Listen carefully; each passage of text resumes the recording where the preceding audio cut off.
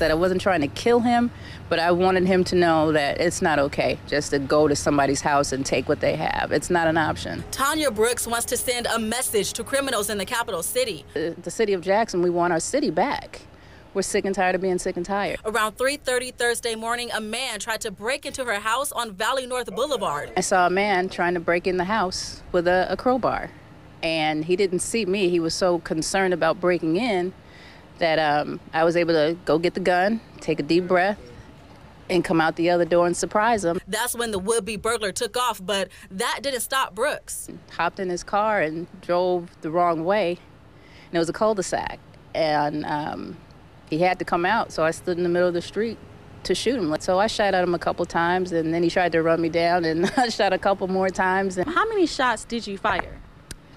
If I recall correct, I want to say four. She told police what kind of car the suspect used. A few blocks away, police say they spotted the car and arrested 47 year old Daryl Chaffin. They charged him with attempted house burglary. As for Brooks, Like I said, it's disheartening. It, it really is. It, it saddens me. in Jackson, Kandace Redd, 16, WAPT News.